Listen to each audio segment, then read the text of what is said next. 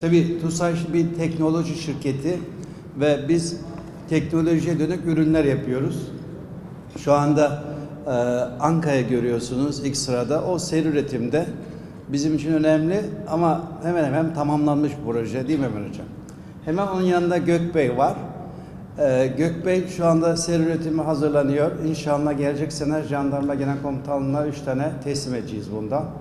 Şu anda sertifikasyon uçuşlarını yavaş yavaş bitirmek üzere ve seri üretime geçiyor. Şu anda da seri üretime geçtik onunla ilgili.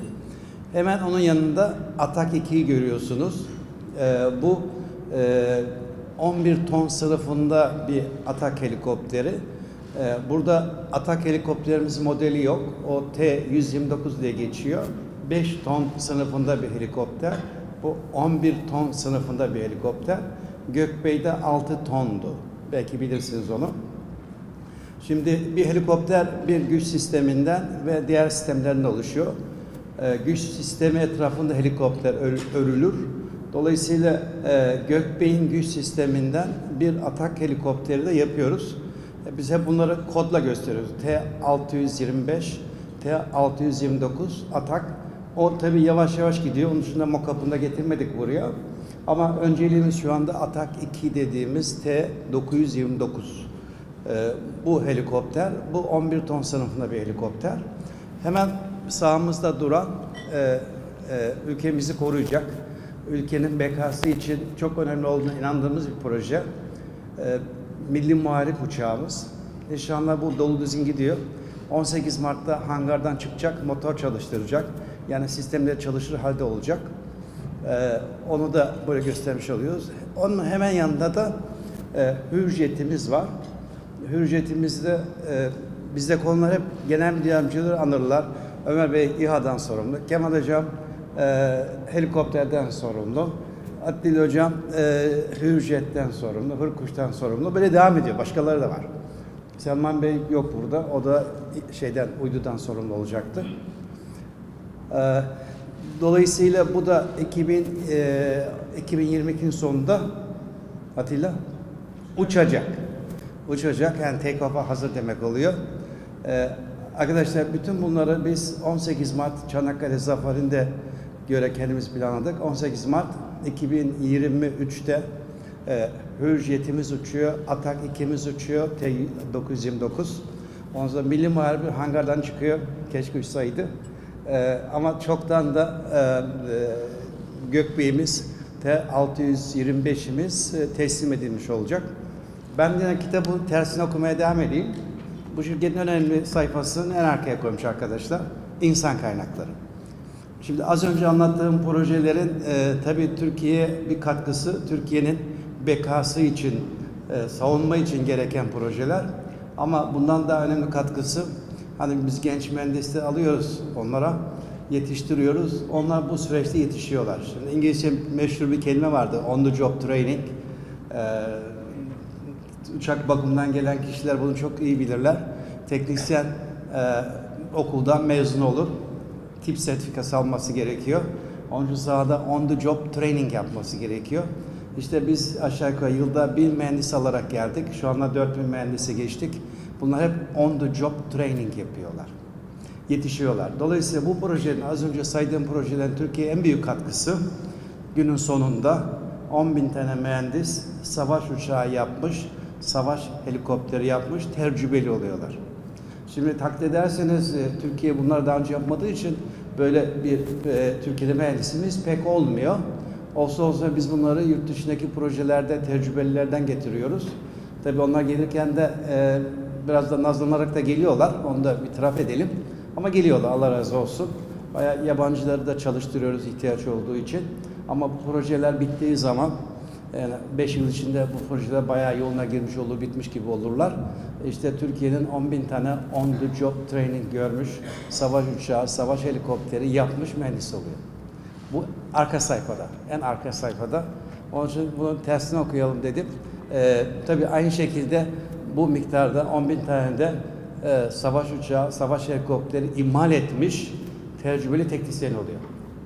Bizim bu şirketin en büyük katkısı bu ülkeye budur.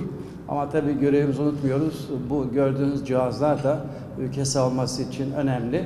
Ee, ben tabii sayfa sayfa gitmeyeceğim. Ee, birkaç şeyi söyleyip e, soru cevaba dönüştürürüm isterseniz.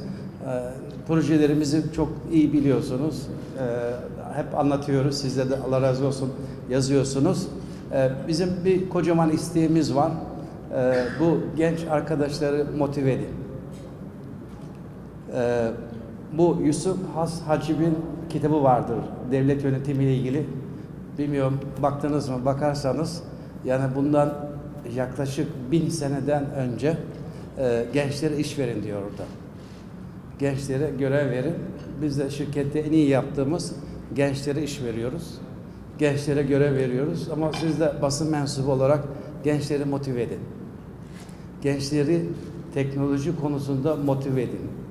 Ee, okul seçimi yaparken teknoloji konularını seçsinler. TUSAŞ'a gelmezseler bile havuz bir tane havuzdu, Türkiye havuzudur. Biz yine onları yakalarız, bir yerde buluruz alırız onları.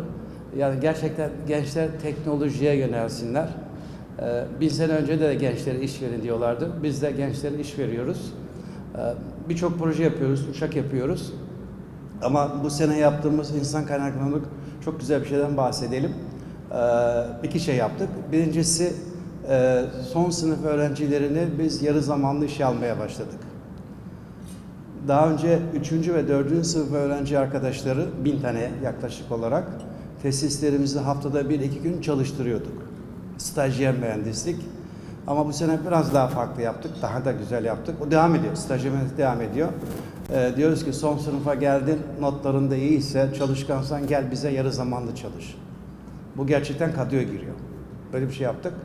Ee, çok yararlı oldu. Bu sene denedik. Bundan sonra hep yapacağız onu. Bir bu. İkincisi de e, yönetim kurulu sağ olsun e, bize yetki verdi. İnşallah 400'e yakın e, yeni mezun arkadaşı herhangi bir üniteye yerleştirmeden kendileri notları, başarıları yüksek olduğu için direkt işe alıyoruz. Tabii bunlar bizim eğitim başkanlığının personel oluyorlar. Yani Atilla'nın veya Mustafa Cavcar veya Selman Nas'ın veya Kemal Ömer Hoca'nın bunların personel olmuyorlar. Normalde şirkete girildiği zaman hangi ünitede çalışacaksa biz o üniteyle onları görüştürür. Ünite beğenirse alırız. Yani Mustafa Cavcar Hocam beğenirse alırız. Değil mi Mustafa Hocam? Şimdi öyle yapmıyoruz. Ee, yani e, kendisini beğendiren bu 400 kişiyi ki aşağı yukarı 400'ünü de aldık. 40-40 alıyoruz bunları. Ve 6 ay bunları eğitime tabi tutuyoruz. Tabi diferansiyel denklem öğretmiyoruz. Nasıl olsa öğrenmiş onlar. Öğrenini alıyoruz tabii ki. Ee, bu grubun ilk şeyi 40'ı geçenlerde jüblesini yaptı. Yani 6. ayını doldurdu. Ve bir İHA tasarladılar. Ve uçurdular. Sıfırdan yaptılar. Bunlar yeni mezun. Daha önce İHA yapmamışlar. Başlarına bir tane iki tane abla abi koyduk yetti. Bütün imkanları açtık.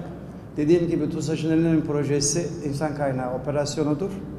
Lütfen sizler de şu gençlere değil de mühendis oluversinler. Çok mühendis ihtiyacımız var. Yani savaş uçağı projemiz 3000 şirkette 3000'i dışarıda diğer şirketler yani TUS yani Türkiye'nin içinde diğer şirketlerde 6000 kişi gerektiriyor. Şu anda 1000 tane mühendisimiz var Milli Muharip'te. Ee, yani gene iyi geldik yani bine iyi geldik. Buradan tabi bu 3000'e gidiyor. Tesislerimizi kurmuş durumdayız. Şimdi e, bizim şu anda şirket olarak Topyekun fokusumuz hemen solumuzda, sağımızda ve yanımızda bulunan üç ürünümüz.